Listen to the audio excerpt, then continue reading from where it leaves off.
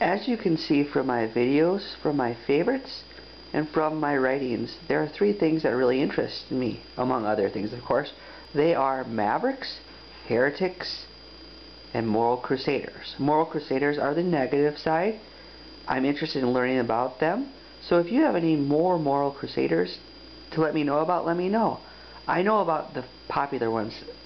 Obviously Fred Phelps, Carrie Nation, so on and so forth. If you know any others, let me know.